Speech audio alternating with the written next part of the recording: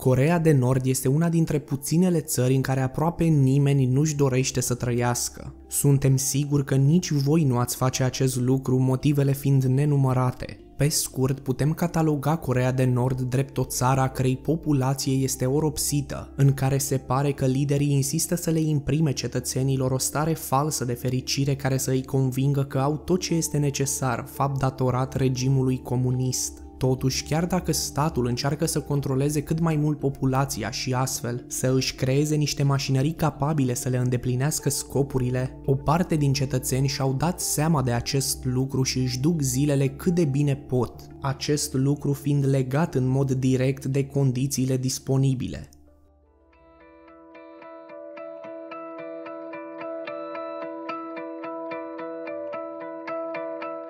Chiar dacă alegem să nu părăsim granițele țării noastre, știm că avem această posibilitate și că putem apela la ea oricând. Dreptul de a cunoaște noi țări și noi culturi ar trebui să fie ceva omniprezent pe Terra, acest lucru fiind strâns legat de originile noastre și de faptul că strămoșii noștri nu erau sedentari și își căutau constant așezări noi. Așa cum știți, nordcoreenii sunt unul dintre popoarele care nu pot beneficia de acest drept, ei fiind nevoiți să își petreacă zilele în țara în care s-au născut fără ca măcar să vadă odată viața de peste graniță. Se pare că nordcoreenii sunt oropsiți să trăiască într-o țară în care totul este controlat, iar calitatea vieții nu este una foarte bună. Analizând tot ce se întâmplă în jurul capitalei Pyongyang, vom vedea muncitori ai câmpurilor care trudesc continuu pentru a-și asigura traiul de pe o zi pe alta. Mijloacele de cultivare ale pământului sunt învechite, impunând perioade lungi de timp pentru a îndeplini sarcinile fundamentale. Mâncarea în această țară este o problemă întrucât este deficitară acest lucru fiind recunoscut de mulți dintre cetățeni. Zona rurală a Coreei de Nord se bate cap în cap cu zona luxoasă a capitalei. În mare parte, zona rurală este brăzdată de câmpuri verzi presărate de culturi și de oameni care le îngrijesc constant. Viața în aceste zone este extrem de simplă și seamănă destul de mult cu cea din zonele rurale ale țării noastre sau cele din Asia de Sud-Est. Persoanele în vârstă tind să aibă spatele îndoit datorită muncilor grele practicate, fiind astfel responsabile de sarcine ceva mai ușor de îndeplinit, în timp ce tineretul se ocupă de muncile grele, cum ar fi căratul sacilor de cereale, exact cum persoanele acum bătrâne făceau odinioară. Practic este un cerc care se repetă la nesfârșit. Totuși, nu toate zonele rurale sunt responsabile pentru producția grânelor, existând și fabrici amplasate în aceste zone. Așa cum v-ați putea aștepta, situația fabricilor este cumva similară cu cea de pe câmpuri. Muncitorii din fabrici sunt nevoiți să practice sarcini mai solicitante fizic, chiar dacă am comparat domenii similare ale acelorași fabrici din Europa și America, am vedea cât de mare este diferența condițiilor tehnologice.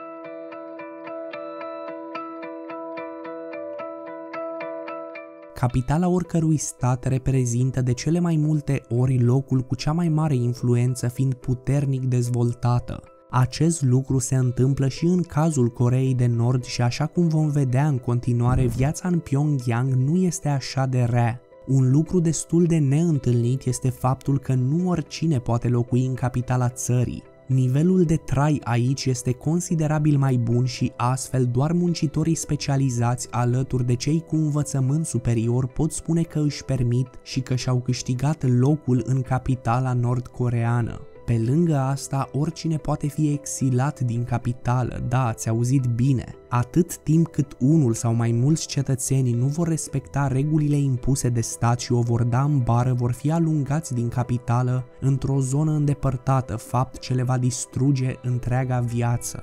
Deși Corea de Nord este descrisă de cele mai multe ori drept o țară plictisitoare în care lucrurile prind viață doar în zilele în care paradele sunt în toi, situația este puțin mai diferită. În Pyongyang puteți vedea multiple locații a căror prezență este unică în Corea de Nord. Cetățenii se pot distra într-un aquapark, loc în care lucrurile vor arăta puțin diferit față de cum ne-am aștepta. Aici, majoritatea persoanelor venite vor nota stângaci, poate chiar pentru prima dată, însă pentru ei nu va părea ciudat pentru că nimeni nu știe exact ce face. Capitala Coreei de Nord le oferă cetățenilor multiple șanse, una dintre ele fiind de a degusta preparatele țărilor pe care nu le pot vizita. Așadar, Pyongyang este presărat cu multiple supermarketuri în care diverse feluri de alimente străine sunt prezente, precum ciocolata elvețiană, una dintre favoritele lui însuși Kim Jong-un și de asemenea un alt punct de mare interes fiind restaurantele.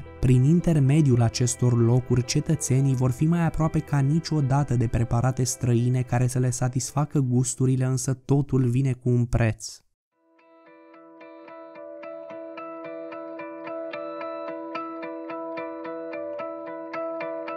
La fel ca în orice alt stat important, în Corea de Nord accentul se pune foarte mult pe educarea copiilor astfel încât statul să beneficieze în viitor de cetățeni loiali. Când un copil se naște în Corea de Nord, îi se va atribui automat un statut în funcție de cel al tatălui său.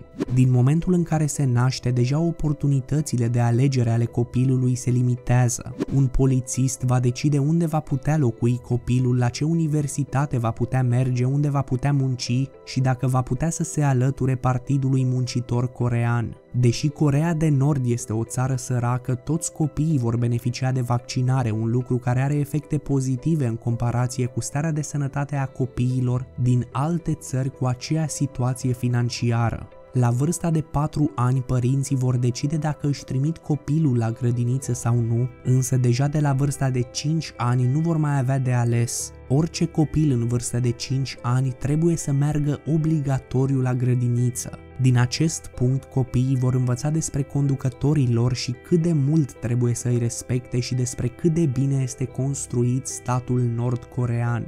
De la aceste vârste fragede copiii află că au deja dușmani, în niciun caz din aceeași nație, ci din cei cu care poporul nativ a fost și este în conflict. Astfel, un copil de 4-5 ani va ști deja că poporul american, cel japonez și cu siguranță cel sud-corean nu pot fi niciodată aliați. În afara școlii, un procent destul de mare din viața copiilor se învârte în jurul propagandei. Liderii statului au amplasat strategic mesaje și diverse reclame care să le antreneze creierul celor mici în așa fel încât să creadă că ce se întâmplă este normal. Astfel, aceștia ajung să participe de la vârste fragede la parade militare și, din nefericire, chiar și la execuții publice care sunt considerate un lucru normal. În continuare, școlarizarea este destul de similară cu modul pe care îl cunoaștem noi, exceptând faptul că sunt multiple materii care țin să urmărească și să slăvească liderii regimului. La 10 ani, toți copiii se alătură Uniunii Copiilor, neexistând excepții. Admiterea se face de obicei în trei etape. În primul rând sunt admiși cei mai buni elevi din clasă, apoi cei medii și apoi restul. Membrii Uniunii Copiilor au o trăsătură distinctivă de a purta cravate roșii, un obicei care vine din fosta Uniune Sovietică. În continuare, lucrurile par să aibă o întorsătură normală. Cei care doresc să aprofundeze studiile vor continua să studieze în cadrul universităților. Ajunși la vârsta potrivită, tinerii nord-coreeni se vor căsători, însă puțin diferit de cum suntem noi familiarizați cu acest lucru. În prezent, căsătoria din dragoste este un concept relativ nou, întrucât căsătoriile aranjate sunt un lucru destul de normal. Un agent se ocupă de asta analizând datele personale ale pretendenților și astfel găsind cele mai bune împerecheri. De obicei, nordcoreenii tineri vor deveni părinți ai mai multor copii, iar circuitul pe care l-am descris anterior se va repeta probabil la nesfârșit.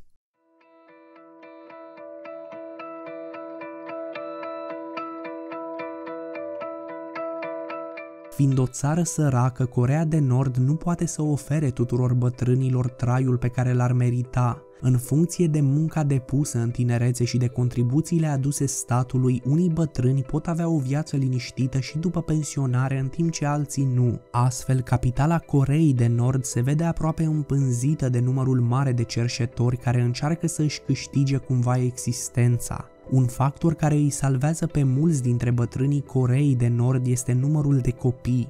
Astfel, părinții la bătrânețe se bazează pe bunătatea copiilor așteptând să îi ajute prin orice mijloc.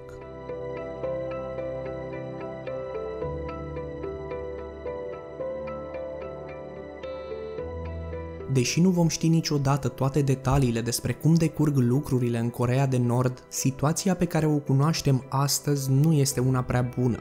O bună parte a acestei țări se luptă cu sărăcia, foametea și condițiile grele de trai impuse de munca solicitantă. Privind în ansamblu, am putea spune că cei care au șansa de a trăi în capitală sau destul de aproape de ea au fost mult mai norocoși decât cei din zonele rurale, acest lucru oferindu-le oportunitatea unei vieți mai bune.